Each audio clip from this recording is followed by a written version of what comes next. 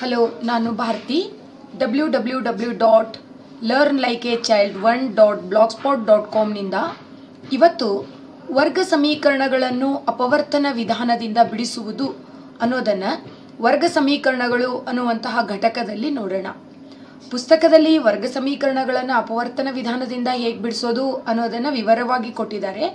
ಜೊತೆಗೆ ನಿಮ್ಮ ಶಿಕ್ಷಕರು ಕೂಡ ತರಗತಿ ಕೋಣೆಯಲ್ಲಿ ಮಾಡಿರ್ತಾರೆ.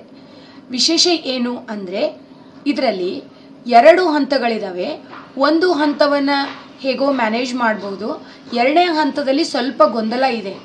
ಸೊ ಆ ಗೊಂದಲವನ್ನು ನಿವಾರಿಸೋದಕ್ಕೋಸ್ಕರ ನಾನು ಒಂದು ಶಾರ್ಟ್ಕಟ್ ಮೆಥಡ್ ಅಂತ ಹೇಳ್ಬೋದು. ಒಂದು ಸ್ಟೆಪ್ಪನ್ನು ಕಡಿಮೆ ಮಾಡುತ್ತೆ. ಮತ್ತು ಸ್ವಲ್ಪ ಇನ್ಫಾರ್ಮಲ್ ಮೆಥಡಲ್ಲಿ ಹೇಗೆ ಮಾಡೋದು ಅನ್ನೋದನ್ನು ಇವತ್ತು ನಾನು ನಿಮ್ಮೊಂದಿಗೆ ಚರ್ಚೆ ಮಾಡ್ತಾ ಇದ್ದೀನಿ.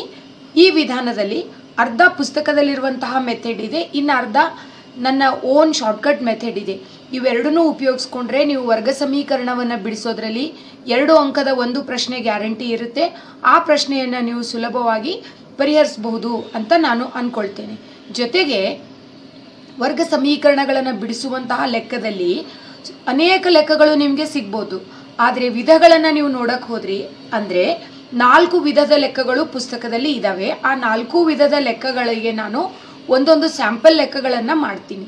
ಈ ನಾಲ್ಕು ಲೆಕ್ಕಗಳನ್ನು ಬಿಟ್ಟು ಬೇರೆ ಯಾವ ಲೆಕ್ಕಗಳನ್ನು ಕೊಡೋದಕ್ಕೆ ಚಾನ್ಸ್ ಇಲ್ಲ. ಪುಸ್ತಕದಲ್ಲಿಯೂ ಅಷ್ಟೇ ನಾಲ್ಕು ಸ್ಯಾಂಪಲ್ ಲೆಕ್ಕಗಳನ್ನು ಬೇರೆ ಬೇರೆ ಲೆಕ್ಕಗಳ ರೂಪದಲ್ಲಿ ಕೊಟ್ಟಿದ್ದಾರೆ.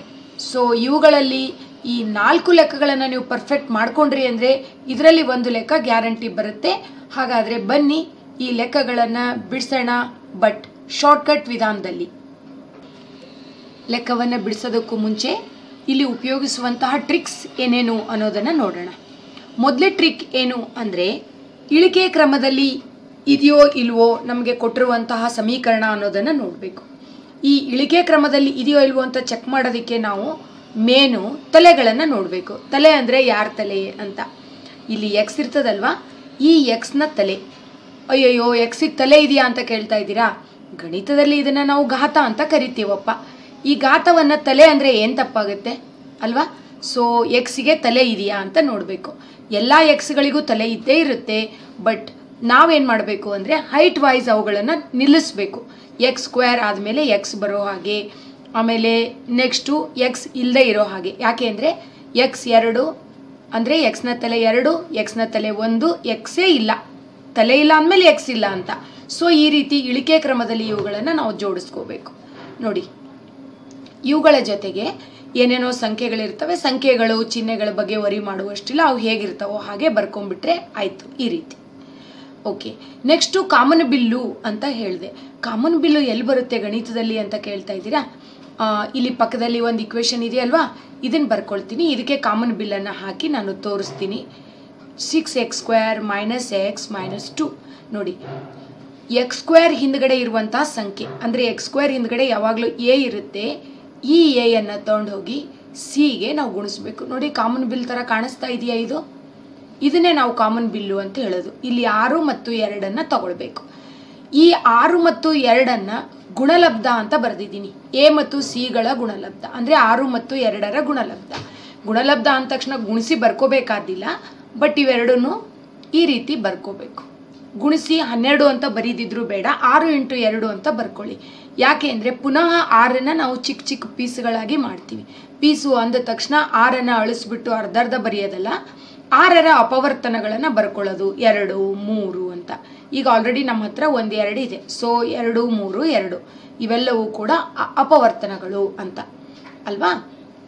ನೆಕ್ಸ್ಟು ನಾಲ್ಕನೇ ಸ್ಟೆಪ್ಪಲ್ಲಿ mix and match mix and ಮ್ಯಾಚಲ್ಲಿ ಏನು ಮಾಡ್ತೀವಿ ಅಂದರೆ ಈ ಎರಡು, ಮೂರು, ಎರಡನ್ನು ಬೇರೆ ಬೇರೆ ಥರ ಗುಂಪು ಮಾಡ್ಕೊಳ್ತೀವಿ ಕಾಂಬಿನೇಷನ್ ಮಾಡ್ಕೋತೀವಿ ಯಾಕೆ ಕಾಂಬಿನೇಷನ್ ಮಾಡ್ತೀವಿ ಅಂದರೆ ಇವುಗಳನ್ನು ಕಾಂಬಿನೇಷನ್ ಮಾಡಿ ಗುಣಿಸಿದ್ರೆ ನಮಗೆ ಗುಣಿಸಿದ್ರೆ ಎ ಸಿ ಬರಬೇಕು.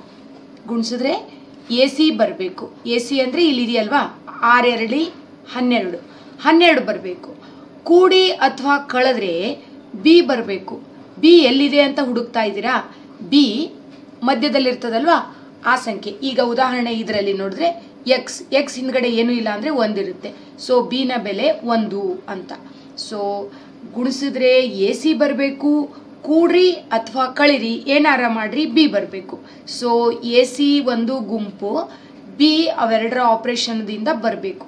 ಸೊ ಇದನ್ನು ಬರೋದಕ್ಕೋಸ್ಕರ ನಾವಿಲ್ಲಿ ಮಿಕ್ಸ್ ಆ್ಯಂಡ್ ಮ್ಯಾಚ್ ಮಾಡ್ತೀವಿ. ಮಿಕ್ಸ್ ಆ್ಯಂಡ್ ಮ್ಯಾಚ್ ಮಾಡಿದ್ಮೇಲೆ ಇನ್ನೇನು ಮಾಡ್ತೀರಾ? ಮಿಕ್ಸ್ ಆ್ಯಂಡ್ ಮ್ಯಾಚ್ ಮಾಡಿದ್ಮೇಲೆ ಎರಡು ಬ್ರ್ಯಾಕೆಟ್ ಹಾಕ್ತೀನಿ. ಬ್ರ್ಯಾಕೆಟಲ್ಲಿ ಬೆಲೆ ತುಂಬ್ತೀನಿ. ಅಷ್ಟೇ ಲೆಕ್ಕ ಮುಗೀತು. ತುಂಬ ಸುಲಭ ಇದೆ. ಇದನ್ನು ನಾವು ಈಗ ನೇರವಾಗಿ ಒಂದೊಂದೇ ಲೆಕ್ಕ ತಗೊಂಡು ಮಾಡೋಣ. ಇಲ್ಲಿ ಶಾರ್ಟ್ಕಟ್ ಟ್ರಿಕ್ಸ್ ಅಷ್ಟೊಂದು ಅರ್ಥ ಆಗಿಲ್ಲ ಅಂದರೆ ಡೋಂಟ್ ವರಿ ಲೆಕ್ಕ ಮಾಡಬೇಕಾದ್ರೆ ನಿಮಗೆ ಕ್ಲೀನಾಗಿ ಗೊತ್ತಾಗುತ್ತೆ. ಒಂದು ಲೆಕ್ಕವನ್ನು ನೋಡೋಣ. ಆರು X square minus X minus ಎರಡು. ಸೊ ಇಲ್ಲಿವರೆಗೂ ನಾವು ಕಲ್ತಿರುವಂಥ ಟ್ರಿಕ್ಸನ್ನು ಇಲ್ಲಿ ಉಪಯೋಗಿಸೋಣ. ಮೊದಲು ಇಳಿಕೆ ಕ್ರಮದಲ್ಲಿ ಇದು ಇದೆಯಾ? ಅಂದರೆ ಹೈಟ್ ವೈಸ್ ನಿಲ್ಲಿಸಿದಾರಾ ಅಂತ ನೋಡೋಣ. ನಿಮಗೂ ಪ್ರೇಯರಲ್ಲಿ ಹೈಟ್ ವೈಸ್ ನಿಲ್ಲಿಸ್ತಾರಲ್ವಾ? ಹಾಗೆ. ನೋಡಿ ಎಕ್ಸ್ ಇತ್ತಲೇ ಎರಡಿದೆ ಕರೆಕ್ಟು ಇಲ್ಲಿ ಎಕ್ಸ್ ಇತ್ತಲೇ ಒಂದು ಬರ್ಕೊಂಡ್ವಿ. ಇಲ್ಲಿ ಎಕ್ಸ್ ಇಲ್ಲ, ಸರಿ ಹೋಯ್ತು. ಎರಡು, ಒಂದು ಇಲ್ಲ.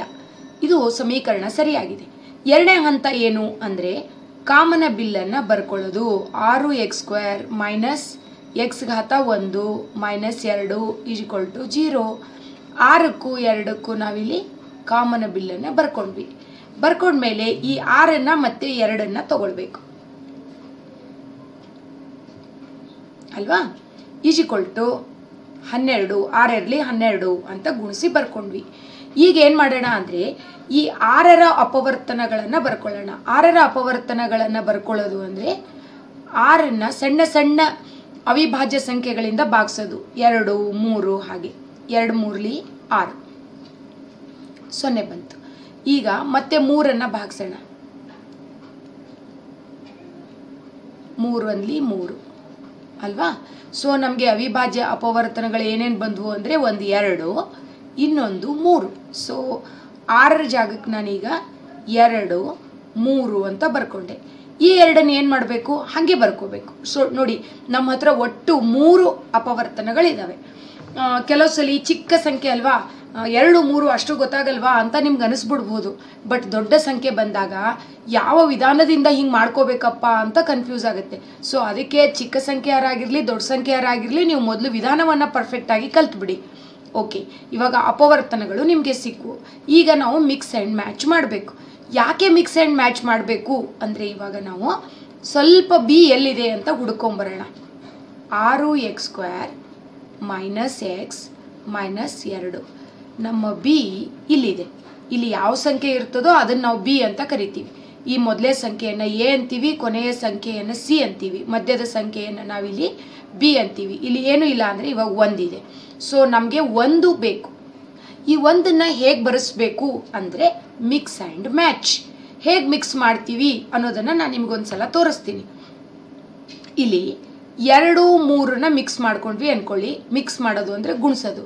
ಎರಡು ಮೂರ್ಲಿ ಆರಾಯ್ತು ಇಲ್ಲಿ ಎಷ್ಟು ಉಳಿತು? ಎರಡು ಉಳಿತು. ಓಕೆ ಇವೆರಡನ್ನು ಒಂದ್ಸಲ ಕೂಡೋಣ. ಎಂಟು ಬಂತು. ಒಂದ್ಸಲ ಕಳೆಯೋಣ. ನಾಲ್ಕು ಬಂತು. ಸೊ ನಮಗೆ ಎಷ್ಟು ಬೇಕು? ಮೈನಸ್ ಒಂದು ಬೇಕು. ಎಷ್ಟು ಬಂತು? ಒಂದ್ಸಲ ನಾಲ್ಕು ಬಂತು. ಒಂದು, ಒಂದ್ಸಲ ಎಂಟು ಬಂತು. ಒಂದ್ಸಲ ನಾಲ್ಕು ಬಂತು. ಅಯ್ಯಯ್ಯೋ, ನಮ್ಗೆ ಮೈನಸ್ ಒನ್ ಬರಲೇ ಇಲ್ಲ. ಸೊ ಅವಾಗ ನಾವೇನು ಮಾಡೋಣ? ಮಿಕ್ಸ್ ಮ್ಯಾಚ್ ಇವಾಗ ಬೇರೆ ಥರ ಮಾಡೋಣ. ಸೊ ಎರಡನ್ನ ಮೂರನ್ನ ಮಿಕ್ಸ್ ಮಾಡಿದ್ವಿ. ಇವಾಗ ಬೇಡ. ನಾವು ಎರಡನ್ನ ಎರಡನ್ನ ಮಿಕ್ಸ್ ಮಾಡೋಣ. ಮೂರನ್ನ ಹಾಗೆ ಇಟ್ಕೊಳ್ಳೋಣ. ಓಕೆ ಎರಡನ್ನ ಎರಡನ್ನ ಮಿಕ್ಸ್ ಮಾಡಿದ್ರೆ ಎರಡು ಎರಡಲಿ ನಾಲ್ಕು. ನಾಲ್ಕು ಬಂತು. ಮೂರನ್ನ ಏನು ಮಾಡೋಣ? ಮೂರನ್ನ ಹಾಗೆ ಇಟ್ಕೊಳ್ಳೋಣ. ಸೊ ಮೂರನ್ನ ಹಾಗೆ ಇಟ್ಕೊಂಡೆ. ಒಂದ್ಸಲ ಕೂಡೋಣ, ಒಂದ್ಸಲ ಕಳೆಯೋಣ. ನಾಲ್ಕರಲ್ಲಿ ಮೂರು ಕೂಡಿದ್ರೆ ಏಳು. ಚಿಹ್ನೆಗಳನ್ನು ಹಾಕ್ತೀನಿ. ಏಳು. ನಾಲ್ಕರಲ್ಲಿ ಮೂರನ್ನ ಕಳೆದ್ರೆ ಒಂದು. ಸೊ ಇವಾಗ ನಿಮ್ಗೆ ಗೊತ್ತಾಗಿರಬೇಕು, ನಮಗೆ ಯಾವ ಮಿಕ್ಸ್ ಆ್ಯಂಡ್ ಮ್ಯಾಚ್ ಪರ್ಫೆಕ್ಟಾಗಿ ಬ್ಯೂಟಿಫುಲ್ಲಾಗಿ ಕಾಣಿಸ್ತಾ ಇದೆ. ನೀವು ಅಷ್ಟೇ ಅಲ್ವಾ ಟಾಪ್ಸ್ ತೊಗೊಂಬರ್ತೀರಾ ಲೆಗಿನ್ಸ್ ತೊಗೊಂಬರ್ತೀರಾ ಏನೇನೋ ಮಿಕ್ಸ್ ಮಾಡಿ ಹಾಕೊಂಡು ನಾನು ಚೆನ್ನಾಗಿ ಕಾಣಿಸ್ತೀನ ಅಂತ ನೋಡ್ಕೋತೀರಾ. ಬಾಯ್ಸ್ ಅಷ್ಟೇ ಅಲ್ವಾ ಕಲರ್ ಕಲರ್ ಶರ್ಟ್ಸ್ ಇರ್ತವೆ ಬಟ್ ಎರಡೇ ಜೀನ್ಸ್ ಪ್ಯಾಂಟ್ ಇರುತ್ತೆ. ಒಂದು ಬ್ಲ್ಯಾಕ್ ಒಂದು ಬ್ಲೂ ಎಲ್ಲದಕ್ಕೂ ಮಿಕ್ಸ್ ಆ್ಯಂಡ್ ಮ್ಯಾಚ್ ಮಾಡಿ ಹಾಕ್ತೀವಿ. ಹಾಗೆ ನಂಬರ್ಗಳನ್ನು ಮಿಕ್ಸ್ ಮಾಡಿ ಮಿಕ್ಸ್ ಆ್ಯಂಡ್ ಮ್ಯಾಚ್ ಮಾಡಿ ನೋಡ್ಕೋಬೇಕು. ನಿಮ್ಗೆ ಇವಾಗ ಇದು ನಿಮಗೆ ಪರ್ಫೆಕ್ಟ್ ಮ್ಯಾಚಿಂಗ್ ನೋಡಿ ಯೂಶ್ವಲಿ ಯೆಲೋಗೆ ಬ್ಲ್ಯಾಕ್ ತುಂಬ ಚೆನ್ನಾಗಿ ಕಾಣುತ್ತೆ ಅಂತ ಹೇಳ್ತಾರೆ. ಇಲ್ಲಿ ನಮಗೆ ಈ ಪ್ಯಾಟರ್ನ್ ತುಂಬ ಕರೆಕ್ಟಾಗಿ ಈ ಲೆಕ್ಕಕ್ಕೆ ಸೂಟ್ ಆಗುತ್ತೆ. ಸೊ ಇನ್ನು ಏನು ಮಾಡೋದು? ಬರೀ ಮಿಕ್ಸ್ ಆ್ಯಂಡ್ ಮ್ಯಾಚ್ ಮಾಡ್ಕೊಂಡಿರೋದಾ? ಇಲ್ಲ, ನಮ್ಗೆ ಆಲ್ರೆಡಿ ಉತ್ತರ ಬಂದು ಹೋಗಿದೆ ಇವಾಗ ಜಸ್ಟ್ ಪ್ರೆಸೆಂಟೇಷನು ನೀವು ನೈಂಟಿ ಪರ್ಸೆಂಟ್ ಲೆಕ್ಕ ಮಾಡಿಬಿಟ್ರಿ. ಇವಾಗ ನಾನು ಪ್ರೆಸೆಂಟೇಷನಲ್ಲಿ ನಿಮಗೆ ಹೇಗೆ ಮಾಡ್ತೀನಿ ಅಂದರೆ, ಎರಡು ಬ್ರ್ಯಾಕೆಟ್ ಹಾಕ್ಕೊಳ್ಳಿ ಚೆನ್ನಾಗಿರೋ ಎರಡು ಬ್ರ್ಯಾಕೆಟ್ ಸೊ ನಿಮ್ಮ ಹತ್ರ ಎರಡು ನಂಬರ್ ಇದ್ದಾವೆ ಒಂದು ನಾಲ್ಕಿದೆ ಒಂದು ಮೂರಿದೆ ಸೊ ಚಿಹ್ನೆ ಒಂದು ಸ್ವಲ್ಪ ಇಲ್ಲಿದೆ. ಆ ಚಿಹ್ನೆಯನ್ನು ತುಂಬ ಗೊಂದಲ ಮಾಡ್ಕೋಬೇಡಿ. ನೀವು ಇಲ್ಲಿ ನಾಲ್ಕರಲ್ಲಿ ಮೂರು ಕಳೆದ್ರಿ ಅಲ್ವಾ? ಸೊ ಯಾವಾಗ ಕಳೀತೀರೋ ಎರಡಕ್ಕೂ ಆಪೋಸಿಟ್ ಚಿಹ್ನೆಗಳನ್ನು ಕೊಡಬೇಕು. ಈ ಎರಡೂ ಸಂಖ್ಯೆಗಳಿಗೂ ಆಪೋಸಿಟ್ ಚಿಹ್ನೆಯನ್ನು ಕೊಡಬೇಕು. ಒಂದು ನಾಲ್ಕಿದೆ ಒಂದು ಮೂರಿದೆ ಯಾರಿಗೆ ಪ್ಲಸ್ ಕೊಡಬೇಕು, ಯಾರಿಗೆ ಮೈನಸ್ ಕೊಡಬೇಕು ಅಂತ ಮತ್ತೆ ಗೊಂದಲ ಇಲ್ಲಿ. ದೊಡ್ಡ ಸಂಖ್ಯೆಗೆ ಇಲ್ಲಿರುವಂಥದ್ದು ಕೊಟ್ಬಿಡೋಣ ಇದು ಮೈನಸ್ ಇದೆ ಸೊ ಇದನ್ನ ದೊಡ್ಡ ಸಂಖ್ಯೆ ಕೊಡೋಣ. ಅಪೋಸಿಟ್ ಕೊಡೋಕೆ ಹೇಳಿದ್ದಾರೆ ಅಂದ ತಕ್ಷಣ ಇದಕ್ಕೆ ಪ್ಲಸ್ ಕೊಡೋಣ. ಒಂದಕ್ಕೆ ಮೈನಸ್ ಇದೆ, ಒಂದಕ್ಕೆ ಪ್ಲಸ್ ಇದೆ. ಫೈನ್ ಆನ್ಸರ್ ಬಂದೋಯ್ತು. ಇಲ್ಲಿ ಮೈನಸ್ ನಾಲ್ಕು, ಇಲ್ಲಿ ಪ್ಲಸ್ ಮೂರು. ಈಗ ಕೇವಲ ಬ್ರ್ಯಾಕೆಟಲ್ಲಿ ಇನ್ನು ಒಂದು ಜಾಗ ಉಳಿದಿದೆ. ಇಲ್ಲೊಂದು ಇಲ್ಲೊಂದು. ಈ ಜಾಗವನ್ನು ನಾವು ಆರು ಎಕ್ಸ್ ಅಂತ ಬರೆಯೋಣ. ಆರು ಎಕ್ಸ್ ಯಾಕೆ ಬರಿಬೇಕು ಅಂತ ಕೇಳ್ತಾ ಇದ್ದೀರಾ? ಅದೇ ಶಾರ್ಟ್ಕಟ್ ಓಕೆ ಇಲ್ಲೂ ಆರು ಎಕ್ಸ್ ಇಲ್ಲೂ ಆರು ಎಕ್ಸ್ ಇಷ್ಟೇ ಉತ್ತರ. ಇವುಗಳನ್ನು ನಾವು ಸೊನ್ನೆಗೆ ಸಮ ಮಾಡೋಣ ಇಕ್ವೇಟ್ ಮಾಡೋಣ. ಓಕೆ ಈಗ ಈ ಸೊನ್ನೆಯನ್ನು ಎರಡೂ ಬ್ರ್ಯಾಕೆಟ್ಗಳಿಗೂ ಹಂಚೋಣ. ತಿರುಪತಿ ಲಡ್ಡು ನಾವು ಹೇಗೆ ಎಲ್ರಿಗೂ ಕೊಡ್ತೀವೋ ಹಾಗೆ ಈ ಸೊನ್ನೆಯನ್ನು ಎರಡೂ ಫ್ಯಾಕ್ಟರ್ಸ್ ಕಂಡುಹಿಡಿಯೋದಕ್ಕೆ ಎರಡೂ ಭಾಗಗಳಿಗೂ ಕೊಡಬೇಕು. ಆರು ಎಕ್ಸ್ ಮೈನಸ್ ನಾಲ್ಕು ಈಸ್ ಈಕ್ವಲ್ ಟು ಜೀರೋ ಇಲ್ಲಿ ಆರು ಎಕ್ಸ್ ಪ್ಲಸ್ ಮೂರು is equal to zero S ಈಗ ಮೈನಸ್ ನಾಲ್ಕನ್ನು ಆ ಕಡೆ ಕಳ್ಸೋಣ. ಆರು X is equal to minus ನಾಲ್ಕು ಆ ಕಡೆ ಹೋದರೆ ಪ್ಲಸ್ ನಾಲ್ಕು ಆಗುತ್ತೆ. ಇವಾಗ ಆರನ್ನು ಆ ಕಡೆ ಕಳಿಸಿದ್ರೆ ಆರು ಇಲ್ಲಿ ಅಂಶದಲ್ಲಿದೆ ಈ ಕಡೆ ಬಂದರೆ ಛೇದಕ್ಕಾಗುತ್ತೆ. ಇಲ್ಲೂ ಒಂದು ರೂಲ್ ಇದೆ, ನಿಮಗೆ ಅದು ಗೊತ್ತಿದೆ ಅಂದ್ಕೊಂಡಿದ್ದೀನಿ ಹೆಂಗಾರಾಗಲಿ ಹೇಳ್ಕೊಡ್ತೀನಿ. ಯಾವಾಗ ಫ್ರೀ ಸಂಖ್ಯೆ ಹೋಗುತ್ತೋ ಅದು ಪ್ಲಸ್ ಅಥವಾ ಮೈನಸ್ ಆಗುತ್ತೆ ಬಲಕ್ಕೆ ಹೋದರೆ. ಯಾವಾಗ ಎಕ್ಸ್ ಜೊತೆ ಅಂಟ್ಕೊಂಡಿರುವಂಥ ಸಂಖ್ಯೆ ಹೋಗುತ್ತೋ ಆವಾಗ ಅದು ಇಲ್ಲಿ ಅಂಶದಲ್ಲಿದ್ದರೆ ಬಲಭಾಗಕ್ಕೆ ಹೋಗಿ ಛೇದಕ್ಕೆ ಹೋಗುತ್ತೆ, ಎಡಭಾಗದಲ್ಲಿ ಛೇದದಲ್ಲಿದ್ದರೆ ಬಲಭಾಗದಲ್ಲಿ ಅಂಶಕ್ಕೆ ಹೋಗುತ್ತೆ. ಅದನ್ನು ಜ್ಞಾಪಕ ಇಟ್ಕೊಳ್ಳಿ. ಇವಾಗ ಈ ಮೂರು, ಇದು ಫ್ರೀ ನಂಬರ್ ಇದೆ, ಆ ಕಡೆ ಹೋದರೆ ಮೈನಸ್ ಆಗುತ್ತೆ. ನೋಡಿ, ಈಗ ಆರು, ಇದು ಜಾಯಿಂಟ್ ನಂಬರ್ ಇದೆ, ಆ ಕಡೆ ಹೋದರೆ ಡಿವೈಡೆಡ್ ಆಗುತ್ತೆ. ಇವೇ ನಮ್ಮ ಎಕ್ಸ್ನ ಬೆಲೆಗಳು. ಇನ್ನೂ ಸುಲಭ ಬೇಕು ಅಂದರೆ ಕ್ಯಾನ್ಸಲ್ ಮಾಡಿ. ಎರಡೆರಡ್ಲಿ ನಾಲ್ಕು, ಎರಡು ಮೂರ್ಲಿ ಆರು. ಸೊ ಎಕ್ಸ್ನ ಬೆಲೆ ಎರಡು ಭಾಗಿಸು ಮೂರು. ಇಲ್ಲಿ ಮೂರು ಒಂದ್ಲಿ ಮೂರು ಮೂರು ಎರಡ್ಲಿ ಆರು. ಎಕ್ಸ್ನ ಬೆಲೆ ಮೈನಸ್ ಒಂದು ಭಾಗಿಸು ಎರಡು. ಈಗ ಇನ್ನೊಂದು ಲೆಕ್ಕವನ್ನು ನೋಡೋಣ. ನೂರು ಎಕ್ಸ್ ಸ್ಕ್ವೇರ್ ಮೈನಸ್ ಇಪ್ಪತ್ತು ಎಕ್ಸ್ ಪ್ಲಸ್ ಒಂದು ಈಜ್ಕೊಲ್ ಟು ಜೀರೋ ಈಗ ನಮಗೆ ಗೊತ್ತಿರುವಂಥ ಎಲ್ಲ ಟ್ರಿಕ್ಸ್ಗಳನ್ನು ಇಲ್ಲಿ ಉಪಯೋಗಿಸೋಣ. ಓಕೆ ಮೊದಲು ಇಳಿಕೆ ಕ್ರಮದಲ್ಲಿ ಇದೆಯಾ ಇಲ್ವಾ ಅಂತ ಚೆಕ್ ಮಾಡೋಣ. ಎಕ್ಸ್ ಘಾತ ಎರಡು ಎಕ್ಸ್ ಘಾತ ಒಂದು ಎಕ್ಸ್ ಇಲ್ಲ. ಕರೆಕ್ಟಾಗಿದೆ ಇದು. ಬಿಟ್ಟರೆ ನೆಕ್ಸ್ಟು ಕಾಮನ್ ಬಿಲ್ಲನ್ನು ಬರೆಯೋಣ. ನೂರು ಮತ್ತು ಒಂದು ಎಸ್ ನೂರು ಇಂಟು ಒಂದು ಗುಣಿಸಿದ್ರೆ ನೂರು ಬರುತ್ತೆ. ನಮಗೆ ಈ ನೂರಲ್ಲಿ ಇಂಟ್ರೆಸ್ಟ್ ಇಲ್ಲ. ಈ ನೂರಲ್ಲಿ ಇಂಟ್ರೆಸ್ಟ್ ಇದೆ. ಇದ್ರ ಜೊತೆ ಒಂದಿದೆ. ಒಂದನ್ನು ಇಗ್ನೋರ್ ಮಾಡೋಣ, ನೂರರ ಅಪವರ್ತನಗಳನ್ನು ಬರ್ಕೊಳ್ಳೋಣ. ಯಾಕೆ ಅಂದರೆ, ನಿಮಗೆ ನೂರರಲ್ಲಿ ಒಂದನ್ನು ಕೂಡಿದ್ರೆ ನೂರ ಒಂದು ಬರುತ್ತೆ, ನೂರರಲ್ಲಿ ಒಂದನ್ನು ಕಳೆದ್ರೆ ತೊಂಬತ್ತೊಂಬತ್ತು ಬರುತ್ತೆ, ಎರಡೂ ನಮಗೆ ಬೇಡ. ಯಾಕೆ ಅಂದರೆ, ನಾವು ಇಲ್ಲಿ ಬಿ ಜಾಗದಲ್ಲಿರುವಂಥ ಸಂಖ್ಯೆಯನ್ನು ನೋಡ್ಕೋಬೇಕು, ಅದು ಮೈನಸ್ ಇಪ್ಪತ್ತಿದೆ. ನಮ್ಗೆ ಇಪ್ಪತ್ತು ಬೇಕು. ಇಪ್ಪತ್ತು ಇವೆರಡು ಕೇಸಲ್ಲೂ ಬರಲಿಲ್ಲ. ಅವಾಗ ಏನು ಮಾಡೋಣ? ಈ ನೂರನ್ನು ಅಪವರ್ತನಗಳಾಗಿ ಸ್ಪ್ಲಿಟ್ ಮಾಡ್ಕೊಳ್ಳೋಣ. ಎರಡು ಐದ್ಲಿ ಹತ್ತು. ಸೊನ್ನೆ ಇಳಿಸ್ಕೊಂಡೆ, ಆಗೋದಿಲ್ಲ, ಸೊನ್ನೆ ಕೊಟ್ಟೆ, ಐವತ್ತಾಯಿತು. ಪುನಃ ಐವತ್ತನ್ನು ಭಾಗಿಸ್ತೀನಿ. ಎರಡು ಎರಡ್ಲಿ ನಾಲ್ಕು, ಒಂದುಳಿತು. ಸೊನ್ನೆ ಎರಡೈದ್ಲಿ ಹತ್ತು. ಸೊ ಇಪ್ಪತ್ತೈದು ಬಂತು. ಪುನಃ ಇಪ್ಪತ್ತೈದನ್ನು ಈಗ ಮೂರರಿಂದ ಭಾಗಿಸಿದ್ರೆ ಶೇಷ ಒಂದು ಉಳಿತದೆ ಅದಕ್ಕೆ ಮೂರರಿಂದ ಭಾಗಿಸಲ್ಲ, ನೇರವಾಗಿ ಐದರಿಂದ ಭಾಗಿಸ್ತೀನಿ. ಐದೈದ್ಲಿ ಇಪ್ಪತ್ತೈದು. ಅಲ್ವಾ? ಓಕೆ. ಪುನಃ ಈ ಐದನ್ನು ಭಾಗಿಸ್ತೀನಿ. ಐದು ಒಂದ್ಲಿ ಐದು. ಎಸ್ ನಮಗೆ ಇರುವಂತಹ ಅಪವರ್ತನಗಳು ಎರಡು ಎರಡು, ಐದು ಐದು. ಓಕೆ. ಎರಡು ಎರಡು, ಐದು ಐದು. ಈಗ ಮಿಕ್ಸ್ ಆ್ಯಂಡ್ ಮ್ಯಾಚ್ ಮಾಡಿ ನೋಡೋಣವಾ? ಇವೆರಡನ್ನು ತಗೊಳ್ಳೋಣ ಇವೆರಡನ್ನು ತಗೊಳ್ಳೋಣ. ಎರಡೆರಡಲಿ ನಾಲ್ಕು ಐದೈದಲಿ ಇಪ್ಪತ್ತೈದು. ಓಕೆ? ನಾಲ್ಕಕ್ಕೆ ಇಪ್ಪತ್ತೈದನ್ನು ಕೂಡಿಸಿದ್ರೆ ಇಪ್ಪತ್ತೊಂಬತ್ತು ಬರುತ್ತೆ. ಇಪ್ಪತ್ತು ಬೇಕಲ್ವಾ ನಮಗೆ? ಇಲ್ಲಿದೆ. ಇಪ್ಪತ್ತು ಬರಲ್ಲ. ಓಕೆ? ನಾಲ್ಕನ್ನು ಇಪ್ಪತ್ತೈದರಲ್ಲಿ ಕಳೆಯೋಣ. ಇಪ್ಪತ್ತೊಂದು ಬರುತ್ತೆ. ಓ ಮೈ ಗಾಡ್ ಅವಾಗಲೂ ಕೂಡ ನಮಗೆ ಬೇಕಾಗಿರುವಂಥ ಸಂಖ್ಯೆ ಬರಲ್ಲ.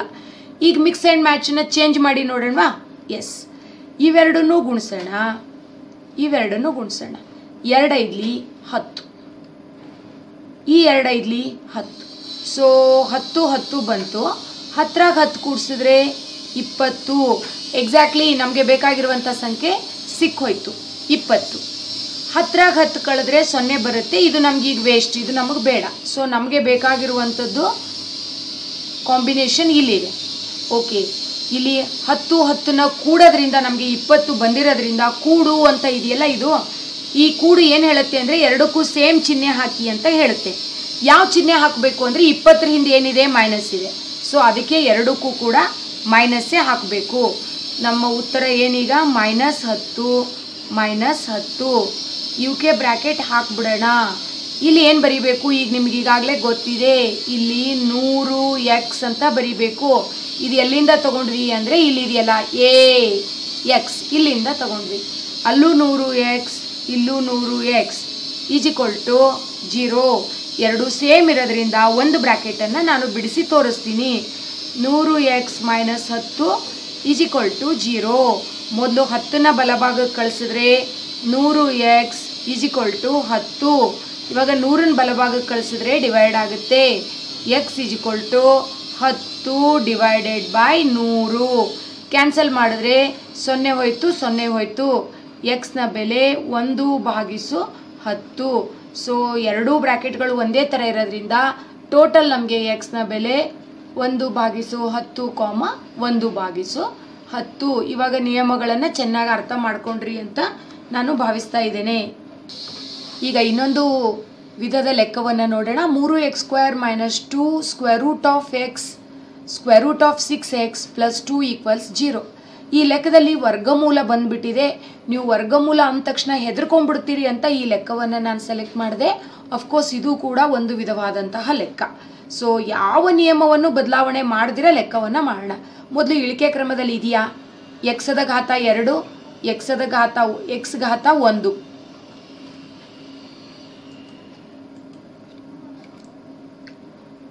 ಎಕ್ಸ್ ಘಾತ ಎರಡು ಎಕ್ಸ್ ಘಾತ ಒಂದು, ಇಳಿಕೆ ಕ್ರಮದಲ್ಲಿ ಇದೆ ನೆಕ್ಸ್ಟು ಕಾಮನ್ ಬಿಲ್ಲನ್ನು ಹಾಕೋಣ. ಮೂರು ಇಂಟು ಎರಡು. ಮೂರು ಎರಡಲಿ ಆರು. ಓಕೆ ಈಗ ಮೂರಾಗ ಎರಡನ್ನು ಕೂಡಿದ್ರೆ ಐದು ಬರುತ್ತೆ. ಮೂರಾಗ ಎರಡನ್ನು ಕಳೆದ್ರೆ ಒಂದು ಬರುತ್ತೆ. ನಮಗೆ ಟೂ ರೂಟ್ ಎಕ್ಸ್ ಎಲ್ಲೂ ಬರೋದಿಲ್ಲ. ಸೊ ಹಾಗಾದರೆ ನಾವು ಏನು ಮಾಡಬೇಕು ಅಂತ?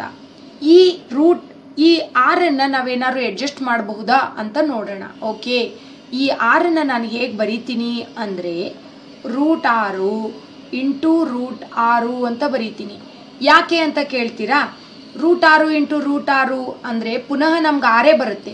ಹೇಗೆ ನೋಡ್ಕೊಳ್ಳಿ. ರೂಟ್ ಆರು ರೂಟ್ ಆರು ಎರಡು ಸಲ ಇರೋದ್ರಿಂದ ರೂಟ್ ಆರರ ವರ್ಗ ಅಂತ ಬರೀತೀನಿ. ವರ್ಗ, ವರ್ಗಮೂಲ, ಕ್ಯಾನ್ಸಲ್, ನಮಗೆ ಆನ್ಸರ್ ಸಿಕ್ಸ್ ಬಂತು. ನೋಡಿ, ಅದೇ ಉತ್ತರ ವಾಪಸ್ ಬಂತು. ಫೈನ್. ಈಗ ರೂಟಾರು ಮತ್ತು ರೂಟ್ ಆರು ಬರೆಯೋದ್ರಿಂದ ಏನು ಲಾಭ ಅಂತ ಕೇಳ್ತೀರಾ? ನೋಡಿ, ಇಲ್ಲೂ ಒಂದು ರೂಟ್ ಆರ್ ಇದೆ, ಇಲ್ಲೂ ಒಂದು ರೂಟ್ ಆರ್ ಇದೆ. ರೂಟ್ ಆರು ಇಂಟು ರೂಟ್ ಆರು ಮಾಡಿದ್ರೆ ನಮಗೆ ಆನ್ಸರ್ ಆರೇ ಬರುತ್ತೆ. ನೋಡಿ, ಇಲ್ಲಿ ಆರ್ ಬಂತು. ಇವೆರಡೂ ಕೂಡಿದ್ರೆ ರೂಟ್ ಆರು ಪ್ಲಸ್ ರೂಟ್ ಆರು ಕೂಡಿದ್ರೆ ಎರಡು ಸಲ ರೂಟ್ ಆರು ಬಂತು. ನೋಡಿ, ಮಧ್ಯ ಕರೆ ಇರೋದು ಬೀನ ಜಾಗದಲ್ಲಿ. ಆನ್ಸರ್ ಬಂದೋಯ್ತು. ಈಗ ಕೂಡಬೇಕಾ, ಕಳಿಬೇಕಾ ಅಂತ ಸಮಸ್ಯೆ. ಕೂಡಬೇಕಲ್ವಾ? ಕೂಡಿದ್ರೆ ತಾನೇ ಎರಡು ಬರೋದು. ಫೈನ್ ಕೂಡಬೇಕು ಅಂತ ಆಯಿತು. ಕೂಡಬೇಕು ಅಂದಮೇಲೆ ಈ ರೂಟ್ ಆರು ಮತ್ತು ಈ ರೂಟ್ ಆರಿಗೆ ಏನು ಚಿಹ್ನೆಗಳನ್ನು ಕೊಡಬೇಕು? ಎರಡಕ್ಕೂ ಒಂದೇ ಥರದ ಚಿಹ್ನೆಯನ್ನು ಕೊಡಬೇಕು. ಯಾಕೆಂದರೆ ಕೂಡಬೇಕು ಅಂತ ಹೇಳಿದ್ದಾರೆ. ಯಾವಾಗ ಕೂಡ್ತೀವಿ ಅಂದರೆ ಒಂದೇ ಥರದ ಚಿಹ್ನೆಗಳಿದ್ದಾಗ ಕೂಡ್ತೀವಿ. ಸೊ ಇಲ್ಲಿ ಮೈನಸ್ ಇರೋದ್ರಿಂದ ನಾವು ಇಬ್ರಿಗೂ ಕೂಡ ಮೈನಸ್ ಚಿಹ್ನೆಯನ್ನೇ ಕೊಡಬೇಕು. ನೆಕ್ಸ್ಟ್ ಒಂದೇ ಒಂದು ಸಣ್ಣ ಕೆಲಸ ಉಳಿತು. ಏನು ಅಂದರೆ ಎಕ್ಸ್ ಜಾಗಕ್ಕೆ ಏನು ಬರಿಬೇಕು? ಸೊ ಮೂರು ಎಕ್ಸ್ ಸ್ಕ್ವೇರ್ ಇದೆ ನಮ್ಮ ಶಾರ್ಟ್ಕಟ್ ಏನು ಹೇಳುತ್ತೆ ಅಂದರೆ ಮೂರು ಎಕ್ಸ್ ಬರೀರಿ ಅಂತ ಹೇಳುತ್ತೆ. ಸೊ ಮೂರು ಎಕ್ಸ್ ಮೂರು ಎಕ್ಸ್ ಉತ್ತರ ಬಂದು ಹೋಯಿತು. ಈಜ್ಕೊಲ್ ಟು ಜೀರೋ ಸೊ ಒಂದನ್ನು ಸೊನ್ನೆಗೆ ಈಕ್ವೇಟ್ ಮಾಡಿ ನೋಡೋಣ. ಮೂರು ಎಕ್ಸ್ ರೂಟ್ ಆರು ಈಕ್ವಲ್ ಟು ಜೀರೋ ಒಂದೇ ಯಾಕೆ ಮಾಡ್ತೀನಿ ಅಂದರೆ ಎರಡೂ ಸೇಮ್ ಇದ್ದಾವೆ ಒಂದನ್ನು ಮಾಡಿಬಿಟ್ಟು ಎರಡಕ್ಕೂ ಆನ್ಸರ್ ಬರಿಬೋದು. ಸೊ ಮೈನಸ್ ರೂಟ್ ಆರನ್ನು ಬಲಭಾಗಕ್ಕೆ ಕಳಿಸಿದ್ರೆ ಪ್ಲಸ್ ರೂಟ್ ಆರ್ ಆಗುತ್ತೆ. ಪ್ಲಸ್ ರೂಟ್ ಆರು. ಆಮೇಲೆ ಮೂರನ್ನು ಬಲಭಾಗಕ್ಕೆ ಕಳಿಸಿದ್ರೆ ಡಿವೈಡೆಡ್ ಆಗುತ್ತೆ. X is equal to root ಆರು ಡಿವೈಡೆಡ್ ಬೈ ಮೂರು. ಇನ್ನೂ ಸುಲಭ ರೂಪಕ್ಕೆ ಮಾಡಬೇಕು ಅಂತ ಅಂದರೆ X is equal to root ಮೂರು ರೂಟ್ ಆರು ಡಿವೈಡೆಡ್ ಬೈ ರೂಟ್ ಮೂರು ಇಂಟು ರೂಟ್ ಮೂರು. ನೋಡಿ, ಈ ಮೂರನ್ನು ರೂಟ್ ಮೂರು ಇಂಟು ರೂಟ್ ಮೂರು ಅಂತ ಬರದೆ. ಇವಾಗ ರೂಟ್ ಆರನ್ನು ರೂಟ್ ಮೂರನ್ನ ಕ್ಯಾನ್ಸಲ್ ಮಾಡಿದ್ರೆ ರೂಟ್ ಮೂರು ಒಂದ್ಲಿ ರೂಟ್ ಮೂರು ಎರಡ್ಲಿ. ಸೊ ಮೇಲೆ ರೂಟ್ ಎರಡು ಬಂತು, ಕೆಳಗಡೆ ರೂಟ್ ಮೂರು ಬಂತು. ಇದೇ ಥರ ಇನ್ನೊಂದು ಬರೀತೀನಿ. ಯಾಕೆ ಅಂದರೆ, ಇಲ್ಲಿ ಒಂದು ಬ್ರ್ಯಾಕೆಟ್ ಇತ್ತು ನೋಡಿ. ಇದನ್ನು ಸೊನ್ನೆಗೆ ಈಕ್ವೇಟ್ ಮಾಡಲಿಲ್ಲ ನಾವು. ಎರಡು ಸೇಮ್ ಇರೋದ್ರಿಂದ ಒಂದನ್ನು ಮಾಡಿ ಎರಡಕ್ಕೂ ಆನ್ಸರ್ ಬರದೆ. ಸೊ ನಮ್ಮ ಆನ್ಸರ್ ಏನು? ಎಕ್ಸ್ನ ಬೆಲೆ ಅಂದರೆ ರೂಟ್ ಎರಡು ಡಿವೈಡೆಡ್ ಬೈ ರೂಟ್ ಮೂರು ಕಾಮ ರೂಟ್ ಎರಡು ಡಿವೈಡೆಡ್ ಬೈ ರೂಟ್ ಮೂರು. ಇದೇ ನಮ್ಮ ಉತ್ತರ. ಇನ್ನೊಂದು ವಿಧದ ಲೆಕ್ಕವನ್ನು ನೋಡೋಣ. ವಿಧಾನ ಏನೂ ಚೇಂಜ್ ಇಲ್ಲ. ಕೇವಲ ಒಂದು ಸಣ್ಣ ಟ್ರಿಕ್ ಇರುತ್ತೆ, ಅದನ್ನಷ್ಟು ತಿಳ್ಕೊಂಬಿಟ್ರೆ ಸಾಕು.